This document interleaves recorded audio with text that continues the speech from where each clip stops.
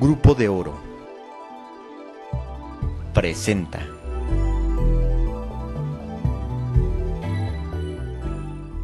En el siguiente tramo de las campañas políticas a la gubernatura del estado se espera lo más difícil. Viene la guerra sucia afirmó el candidato del PRI verde ecologista Fausto Vallejo Figueroa, quien resaltó que contrario a épocas anteriores en que la principal demanda eran los servicios, ahora es la seguridad, y subrayó que no hay sector en Michoacán que no haya sufrido este problema. Esto de que estoy enfermo lo empezaron las gentes de eh, Acción Nacional y lo secundó el PRD en la campaña pasada. Y bueno, yo me remito a los hechos. ¿Qué ha pasado en estos tres años y medio, casi cuatro, que he estado al frente de la administración pública municipal? Es decir, pues trabajo las 24 horas. Estoy los 365 días del año. Me tomé eh, unos cuantos días de vacaciones en dos ocasiones, unas cinco días y otro cuatro días. Eh, y andamos en la precampaña, andamos en la campaña, eh, muy fuerte. ¿Tú crees que me permitiría, si estuviera enfermo, andar realizando estas actividades? Hoy me encuentras un poco enfermo de la garganta, ¿verdad? así es, ¿verdad? Y no te puedo decir este también de alguna menor intervención quirúrgica que me realizaron, pero este, por respeto a, a las damas, pero... Dejémoslo así. Dejémoslo así, Así es. Lo de la declinación, ustedes saben perfectamente bien que eso no es cierto. Eso no es posible. Soy gente de valores y de principios. Yo he dicho que no voy a cambiar ni de familia, ni de religión, soy católico, ni de partido político. Entonces eso queda muy claro. Y se me hace ruin, se me hace mezquino verdaderamente el que inmiscuyan a la familia en estos aspectos. Yo sé qué tengo en mi casa, sé quiénes son mis hijos y sé perfectamente bien que no hay nada al respecto. No hay absolutamente nada. Uno de mis hijos está trabajando en España, llega en las próximas eh, semanas, está felizmente casado, me siento muy orgulloso de él, que es Rodrigo, y Fausto que está aquí, que es el que me, lleva el negocio familiar del centro de eventos sociales y ande también en sus actividades muy eh, muy particulares, muy concretas, ¿no? Pero sus amigos, sus amistades, quienes los conocen saben perfectamente bien que son gentes honorables, son gentes de bien, son gentes de familia y son gentes que eh, le aportan a, le van a aportar a este estado como ciudadanos cumpliendo con sus derechos y obligaciones. Pero yo no quiero caer precisamente en esa guerra sucia y culpar a alguien, pero de que son los partidos de oposición, son los partidos de oposición. Es decir, y hay muchas manifestaciones. Finalmente la guerra sucia no es que uno saque los trapitos al sol de, de los candidatos, sino que inventan, obviamente, lo que no existe han venido diciendo de tu servidor de que si estoy enfermo, que si voy a declinar, que si uno de mis hijos anda en aspectos de la delincuencia, es decir, y son esa es verdaderamente guerra sucia. Entonces, lo que se inventa, lo que no tiene fundamento, es una guerra sucia. Yo creo que cuando se hace un diagnóstico y a partir de errores que ha tenido uno en lo personal o en el desempeño de sus actividades políticas, eso se vale. Yo, por ejemplo, vengo diciendo de la gran deuda que tiene Michoacán, de que estamos en los últimos lugares en materia de educación, de que tenemos uno de los estados eh, eh, que somos los que expulsamos más eh, mano de obra y talentos hacia los Estados Unidos. Pues ahí están los datos. Es decir, yo, para darle solución a la enfermedad que sufre Michoacán, debemos de saber con realismo cuál es la enfermedad y qué, cuál es la medicina por consiguiente que vamos a aplicar eh, y la dosis eh, también. Entonces, yo creo que habrá, en nuestro caso habrá que estar preparados para esa guerra sucia porque es invención. Son expertos muchos de los cuadros de algunos partidos políticos de la oposición en esta guerra sucia. Lo vienen haciendo estado tras estado además. Todavía en las campañas pasadas, eh, la prioridad eran los servicios públicos, era el desempleo, eh, pero no estaba tan acentuado lo relativo a la inseguridad. La inseguridad en todas partes y en, en todos los tonos nos las vienen manifestando. En tono más bajo, con miedo, con cautela, lo vienen expresando. Pero no hay sector que no haya sido tocado además por la inseguridad. No, ya se rompieron inclusive las clases sociales en este sentido. Ahí habrá que decir que son muy demócratas, es muy parejo ya. Desgraciadamente, eh, esta intimidación, esta perturbación de la vida de los, de los michoacanos. Y luego lo otro es el desempleo, que se ha intensificado en forma brutal. El desempleo, los problemas de educación, los servicios públicos, los aspectos ambientales, son cuestiones que vienen marcando en esta ocasión la agenda de lo que debemos de urgir. Y nosotros también, obviamente, visualizamos que para atender muchos de esos problemas se requieren recursos económicos.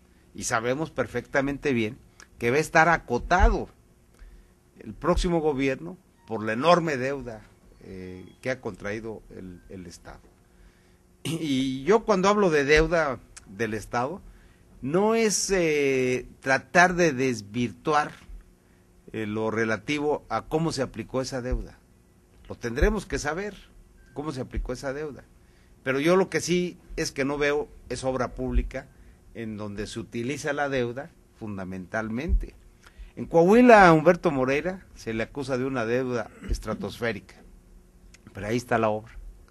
80 puentes, distribuidores viales, bibliotecas, unidades deportivas, transformación de ciudades enteras, eh, es el primer generador de empleos en el, en, el, en el país, en fin, ahí vemos reflejada totalmente la deuda. Entonces no nos debe de asustar la deuda cuando propicia el desarrollo humano y el desarrollo económico.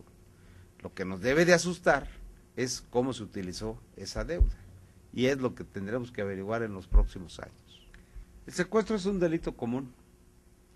La amenaza, la extorsión es un delito común. El robo de vehículos es un delito común. Pero ¿quién lo practica? Fundamentalmente. La trata de blancas, ¿quién lo practica? La, lo relativo también a eh, eh, otros delitos como la piratería, ¿quién la practica? Y todo eso pues, está íntimamente y, este, relacionado. Entonces, es eh, muy malo esconder la cabeza. Claro que debe de puntualizar la federación en atender la delincuencia común. Pero esta va ligada a la, perdón, a la delincuencia federal, pero va ligada a la delincuencia común. Y entonces, si eh, por causas del desempleo, por causas de, educación, etcétera, etcétera, eh, tenemos eh, los problemas y el crecimiento de los índices de la delincuencia organizada y delincuencia común, pues que no lo inteligente es que nos coordinemos con la federación y con los municipios para que todos juntos, junto con la sociedad, tratemos de frenar este problema. Entonces debemos de establecer una coordinación amplia con la federación y con los municipios. Debemos de discutir qué es lo que vamos a hacer con las policías municipales que están al alcance totalmente de la delincuencia organizada y de la propia delincuencia, de la delincuencia común. Y por supuesto que como representantes de la ley, en primera instancia los policías deben de estar certificados, capacitados, debemos de lograr la honorabilidad y la depuración de los cuerpos de policía. Y también, por contraparte, pues pagarles de manera adecuada, darles las prestaciones de manera adecuada.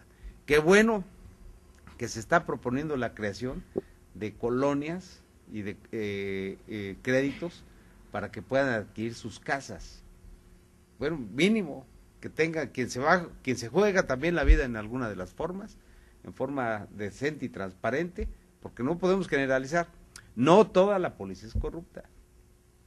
No toda la policía falta su deber o está coludida pues allá con la delincuencia sino que hay muchísima gente, muchísimos policías que están ahí por trabajo, dos porque quieren y que sí le sirven a la ciudadanía. Pero bueno, junto a la capacitación y depuración de los cuerpos, junto al pertrecho del armamento adecuado, frente a las nuevas estrategias, también el lado humano de los policías es mucho, muy importante que lo atendamos. Los policías están entre la espada y la pared, y a triple fuego yo diría. Están eh, eh, eh, ahí frente al paredón con la sociedad civil. Están frente al paredón con la delincuencia y dentro del propio gobierno. Entonces yo creo que es justo que reflexionemos de manera integral. Pero no nada más los policías, sino yo creo que el problema es en gran parte en las agencias del Ministerio Público. Ahí empieza el problema. Y no hemos puesto los CIES sobre, las, eh, eh, sobre el asunto este, porque necesitamos certificar y capacitar a los agentes del Ministerio Público. Bueno, yo no me atrevería tanto a decir que hubo rapiña o eh, mal uso de los recursos económicos, en el sentido que se los hayan llevado a sus casas. Lo puede haber, ¿eh? Puede haber algún funcionario que haya traicionado al gobernador. Eh, pero yo creo que además uno no, yo, yo no soy ni perdonador de vidas ni de nada. Es decir, además nosotros no, no somos, el Ejecutivo no es la instancia para castigar o determinar si son culpables o no, en el supuesto de que sean culpables. Hay órganos eh, como la Auditoría Superior de Glosa del Congreso del Estado que inclusive lleva responsabilidades si no hace una auditoría correcta. Y la propia Contraloría del Gobierno del Estado, bueno, si solapa, bueno, ellos sí van a ser culpables y yo creo que también las instancias correspondientes los tienen que sancionar. Entonces, yo lo que vengo proponiendo es de que se haga una auditoría general entrando al gobierno, pero ciudadanizada, con un órgano de gobierno ciudadanizado. La Contraloría del Estado debe estar ciudadanizada y solicitar que la sociedad civil haga esa auditoría general. Pero cuando yo salga, también que apliquen la misma regla que nos hagan una auditoría general. Y no con el objeto de andar correteando a alguien, sino el objeto es de saber cómo recibimos y que la sociedad sepa cómo vamos a entregar. Hay varios pendientes del presidente de la República en sus recientes, no, no hablo de la campaña ni siquiera presidencial, ¿eh? hablo de los compromisos de los que ha estado aquí en Michoacán, como lo del eh, en Morelia para ser eh, eh, concretos, el, el, el, el, libramiento ferroviario, el libramiento de transporte de carga, de carga pesada, son dos cosas mucho muy importantes que debe de cumplir el presidente de la República. Yo le pediría de manera muy puntual que cuando menos nos dejara un estado sin aulas con palitos. Ya no más.